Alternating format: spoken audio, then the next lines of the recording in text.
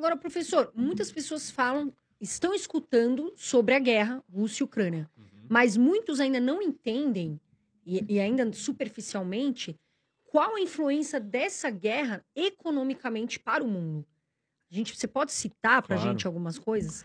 Claro, assim, o primeiro deles é que a Rússia é um dos maiores produtores, de, dependendo do ano, ela é o maior produtor de gás natural, que é uma fonte de energia não existe economia, não existe sobrevivência, não existe quase nada na humanidade sem energia. A gente não estaria aqui, é, as indústrias não estariam fabricando, as pessoas não se locomovem, é, você não tem calor para sobreviver, você não tem ar-condicionado para sobreviver, tem um monte de coisa que não acontece sem energia. Então, energia é um recurso fundamental para as pessoas e para as nações. E se a Rússia é a maior, uma das maiores produtoras de gás e de petróleo, qualquer coisa que a Rússia tiver envolvida é, vai afetar a percepção de risco e os problemas ligados com energia no mundo. E vai afetar o preço da energia. E isso vai afetar o preço da energia para todo mundo. Sim. Vai aumentar a gasolina, vai aumentar um monte de coisas. E, e, isso mexe diretamente com a inflação. A guerra potencializou um cenário de inflação que a gente já tinha, causado pela pandemia, é, e vindo com a guerra que mexe nos, nos fatores ou nos pilares fundamentais de geração de inflação ou de composição de preço das coisas. Combustível. Combustível transporta tudo que a gente usa e consome.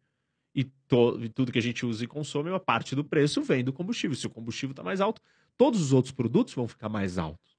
Então, nós tivemos primeiro primeiro efeito é a energia, o segundo é a inflação. O terceiro, que não é menos importante, é comida. Então, sem alimento, a gente não faz nada, ninguém sobrevive. E a Ucrânia tem um dos solos mais férteis do mundo, historicamente, sempre foi cobiçada por isso uma terra, um solo é, negro, escuro, muito fértil, muito poderoso, muito bom, onde tudo cresce. É um dos maiores produtor, é, produtores de, é, de trigo, de grãos. A Rússia também. E a guerra está acontecendo justamente ali. Tem, é, então, o preço do alimento também subiu, que é outra coisa básica que mexe com a economia. E, óbvio, a situação de uma guerra, né? Nós estamos no século XXI, as pessoas não estão mais acostumadas com isso. Elas acham que não tem mais porque as pessoas, eh, países invadirem uns aos outros ou se matarem. Acabou. É, é um pensamento distante de quem, sei lá, é, você tem 30 anos, você não viu guerra de verdade. Você não viu conflito, você não sabe o que é Guerra Fria, você não viveu essas coisas. A não ser que você estude isso, senão você acha isso estranho. Fala, mas imagina, Putin não vai invadir, não tem porquê, ele vai perder dinheiro. É um, é um raciocínio muito distante da cabeça das pessoas. Mas é uma guerra, e é uma guerra com uma da, a, a potência, é, a maior potência nuclear do mundo. A Rússia tem mais bombas atômicas que os Estados Unidos. É, e, e é abrir um capítulo do mundo que estava adormecido que é a volta da geopolítica tradicional. É o quê? Disputa entre países. Pelo quê? Por território. A gente achou que não era por isso. A gente achou que era disputa pelo digital, pela rede, pela narrativa. Não. Estamos novamente lutando por terra, por espaço. E aí você começa a cogitar, bom, e qual que é o desfecho? Qual que é a, o desdobramento disso? Vai acontecer mais? E você tem várias outras situações que elas estão à beira de explodir há muito tempo. E aí, quando a Rússia dá o primeiro passo, todo mundo olha para todas as outras e fala: Ih, acho que nós entramos numa outra era. E eu vou mais longe, assim. Eu diria que os próximos 10 anos vão ser os anos mais perigosos desde a Segunda Guerra Mundial para o mundo. Aliás, vários países já estão se movimentando, né, professor? É, eu queria até entrar nesse assunto com você, porque eu li uma matéria falando que o Japão já está investindo mais em armamento, investindo no seu exército. A gente tem, por outro lado, a Coreia do Norte, que cada vez mais vem investindo em, em armas nucleares. Então, como que você enxerga esse movimento, já pegando o gancho do que você está falando, que estamos entrando em momentos delicados? É. Assim, a guerra da Ucrânia, por exemplo, ela, ela abriu uma, uma tendência que já vinha acontecendo. Você citou dois exemplos bons. Coreia do Norte é um país que construiu a bomba atômica há não muito tempo atrás. E é uma das maiores ditaduras, assim, um dos regimes mais malucos que a gente tem no mundo. E ele uma, tem uma bomba atômica. O Japão, né, depois da Segunda Guerra Mundial, tem restrições na Constituição, que não pode ter exército, não pode ter armamento e tal. Cada vez mais se sente ameaçado pelo crescimento chinês e pela postura agressiva da China. E com isso, tem tomado medidas para começar a buscar se armar. Ainda não mudou a Constituição, não deu um passo tão forte, mas tem procurado já, sabe, olha, esse negócio pode não estar dando certo, deixa eu me preparar. E não é só isso, tem o programa nuclear iraniano, tem uma série de condições aí no mundo problemáticas. É, com a guerra da Ucrânia, países anti, antigamente pacíficos, adormecidos, desde a Segunda Guerra Mundial, como a Alemanha, saíram em busca de se armar. E esse armamento, nós estamos num momento de corrida armamentista no mundo. Nós estamos num momento de eh, disputa e rivalidade política se sobrepondo a interesse econômico. Então, a- a- por exemplo, a discussão da globalização. A globalização, ela pressupõe que você vai comprar o produto eh, daquele lugar que produz o mais barato. Porque essa é a lógica econômica. Qual é a lógica econômica? Custo-benefício. Quem produz a mesma qualidade de produto mais barato? É a Carol? Então eu vou comprar da Carol. Ah, não. Mas agora, comprar da Carol pode ser um problema. Por quê?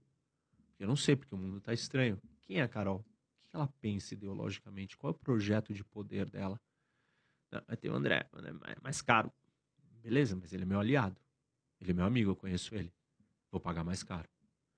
Então, não é a lógica econômica que vai reger as relações comerciais daqui para frente. É a lógica da segurança, da geopolítica, é, da ordem, é, das cadeias de suprimento que não te causem problemas. O mundo viu que na pandemia a gente dependia demais da China. Dependia demais de máscara. E você precisava de máscara para sobreviver, para manter sua população viva.